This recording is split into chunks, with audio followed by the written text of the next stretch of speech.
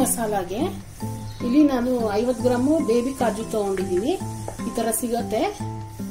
ಚಿಕ್ಕ ಚಿಕ್ಕ ಕಾಜು ಸಿಗತ್ತೆ. ಇದು ಗ್ರೇವಿಗೆಲ್ಲ ಹಾಕ್ತಾರೆ. ಹೋಟೆಲಲ್ಲೆಲ್ಲ ಇದನ್ನೇ ಹಾಕೋದು. ಇವಾಗ ನೀರು ಇಟ್ಕೊಂಡಿದ್ದೀನಿ ಒಂದು ಪಾತ್ರೆಯಲ್ಲಿ ಇದು ಕಾಜು ಇರತ್ತಲ್ಲ ಇದನ್ನ ಹಾಕೋಬೇಕು. ಇಲ್ಲಿ ಒಂದು ಆನಿಯನ್ ತಗೊಂಡಿದ್ದೀನಿ.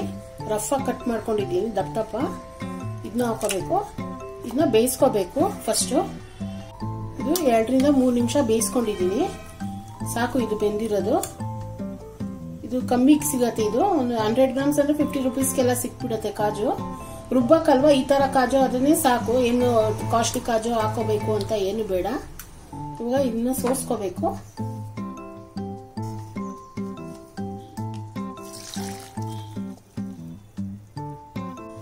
ಪೂರ್ತಿ ತಣ್ಣಗಾದ್ಮೇಲೆ ಪೇಸ್ಟ್ ಮಾಡ್ಕೋಬೇಕು ನುಣ್ಣಗೆ. ಇವಾಗ ಪ್ಯಾನ್ ಇಟ್ಕೊಂಡಿದ್ದೀನಿ. ಇದಕ್ಕೆ ಒಂದು ಮೂರು ಟೇಬಲ್ ಸ್ಪೂನ್ ಅಷ್ಟು ತುಪ್ಪ ಹಾಕೊಬೇಕು ಇಲ್ಲಿ ಐವತ್ತು ಗ್ರಾಮು ಕ್ಯಾಶು ತಗೊಂಡಿದ್ದೀನಿ. ಈ ಥರ ಆಫ್ ಇರತ್ತಲ್ಲ, ಅದು ತೊಗೋಬೋದು. ಇಲ್ಲ ಫುಲ್ಲು ಗುಂಡೆ ಗುಂಡೆ ಥರ ಇರತ್ತಲ್ಲ, ಅದನ್ನು ತೊಗೋಬೋದು. ಇದನ್ನ ಫ್ರೈ ಮಾಡ್ಕೋಬೇಕು. ಸ್ವಲ್ಪ ಲೈಟ್ ಬ್ರೌನ್ ಆಗೋವರೆಗೂ ಫ್ರೈ ಮಾಡ್ಕೋಬೇಕು.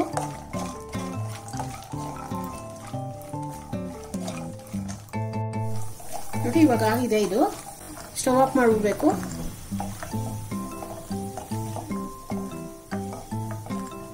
ಇವಾಗ ಅದೇ ತುಪ್ಪಕ್ಕೆ ಇನ್ನೊಂದು ಎರಡು ಟೇಬಲ್ ಸ್ಪೂನ್ ಎಣ್ಣೆ ಹಾಕೋಬೇಕು. ಪಲಾವ್ ಎಲೆ, ಎರಡು ಏಲಕ್ಕಿ ಚಕ್ಕೆ, ಒಂದು ಇಂಚು ನಾಲ್ಕು ಲವಂಗ. ಸ್ವಲ್ಪ ಫ್ರೈ ಮಾಡ್ಕೋಬೇಕು. ಒಂದು ಈರುಳ್ಳಿ ಚಾಪ್ ಮಾಡ್ಕೊಂಡಿದ್ದೀನಿ ಸಣ್ಣಗೆ ಹಾಕೋಬೇಕು. ಇದು ಗೋಲ್ಡನ್ ಬ್ರೌನ್ ಬರೋವರೆಗೂ ಉಟ್ಕೋಬೇಕು ಎರಡು ಹಸಿಮೆಣಸಿನ್ಕಾಯಿನೂ ಚಾಪ್ ಮಾಡ್ಕೊಂಡಿದ್ದೀನಿ. ಒಂದು table spoon ginger garlic paste ಹಾಕೋಬೇಕು. ಚೆನ್ನಾಗಿ ಹುರ್ಕೋಬೇಕು. ರೆಡ್ ಟೊಮೆಟೊ ಚಾಪ್ ಮಾಡ್ಕೊಂಡು ಹಾಕೊಂಡಿದ್ದೀನಿ. ಚೆನ್ನಾಗಿ ಸಾಫ್ಟ್ ಆಗೋವರೆಗೂ ಹುರ್ಕೋಬೇಕು. ಆಮೇಲೆ ಒನ್ ಟೇಬಲ್ ಸ್ಪೂನ್ ಧನಿಯಾ ಪೌಡರ್ ಹಾಕೋಬೇಕು. Chilli powder one tea spoon ಜೀರಿಗೆ powder one tea spoon garam masala one tea spoon half tea spoon ಅರಿಶಿನ ಸಾಲ್ಟು ಒಂದು ಮುಕ್ಕಾಲದಿಂದ ಒನ್ ಟೀ ಸ್ಪೂನ್ ಹಾಕೋತಾ ಇದ್ದೀನಿ. ನೋಡ್ಕೊಂಡು ಹಾಕೋಬೇಕು. ಎಲ್ಲ ಮಸಾಲೆ ಚೆನ್ನಾಗಿ ಹುರ್ಕೋಬೇಕು.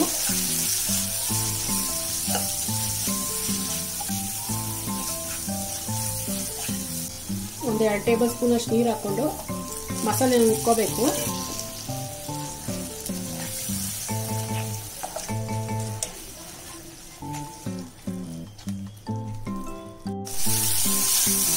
ಒಂದು ಮೂರು ನಿಮಿಷದವರೆಗೂ ಚೆನ್ನಾಗಿ ಮಸಾಲೆ ಹುರ್ಕೊಂಡಿದ್ದೀನಿ. ಅದು ಎಣ್ಣೆ ಎಲ್ಲ ಬಿಟ್ಕೋಬೇಕು, ಅಲ್ಲಿವರೆಗೂ ಉಟ್ಕೋಬೇಕು ಚೆನ್ನಾಗಿ ಟೊಮೆಟೊ ಎಲ್ಲ ಸಾಫ್ಟ್ ಹಾಕಬೇಕು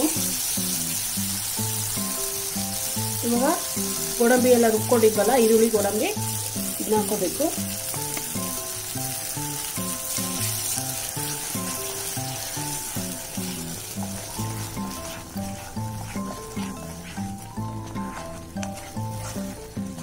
ಸ್ವಲ್ಪ ಮಿಕ್ಸಿಯಲ್ಲಿ ಇರೋದನ್ನೆಲ್ಲ ನೀರು ಹಾಕೊಂಡಿದ್ದೀನಿ.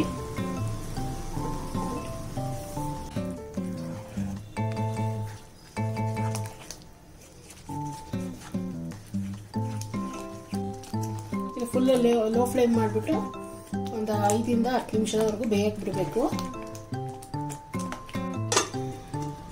ಮಧ್ಯ ಮಧ್ಯದಲ್ಲಿ ಕೈ ಆಡಿಸ್ತಾ ಇರಬೇಕು, ಇಲ್ಲಾಂದ್ರೆ ಕಾಜು ಪೇಸ್ಟ್ ಅಲ್ವಾ, ತಲಾ ಹಿಡಿದು ಬಿಡುತ್ತೆ.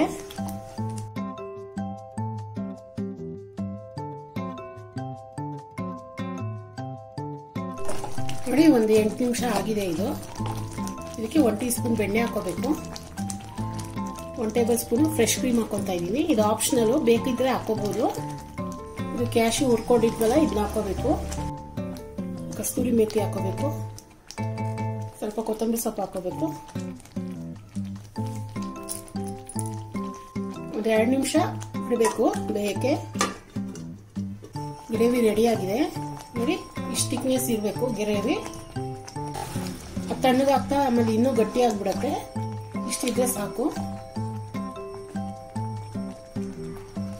ಇವಾಗ ಇದನ್ನ ಸರ್ವಿಂಗ್ ಬೌಲ್ಗೆ ಹಾಕೊಂತೀನಿ. ಡಾಬಾ ಸ್ಟೈಲ್ ಕಾಜು ಮಸಾಲ ರೆಡಿಯಾಗಿದೆ ಹೋಟ್ಲಿಗಿಂತ ತುಂಬಾ ರುಚಿಯಾಗಿ ಬಂದಿದೆ. ನೀವು ಒಂದ್ಸತಿ ಟ್ರೈ ಮಾಡಿ. ಆರಾಮಾಗಿ ಫಂಕ್ಷನ್ ಪಾರ್ಟೀಸ್ ಈ ತರ ಏನಾರ ಮನೇಲಿ ಇದ್ರೆ ಈ ತರ ಮಾಡ್ಕೋಬಹುದು ಕಾಜು ಮಸಾಲಾನ. ಇದು ಪರಾಟಾಗೆ ಪೂರಿಗೆ, ಚಪಾತಿ ಎಲ್ಲದಕ್ಕೂ ಸೂಟ್ ಆಗತ್ತೆ.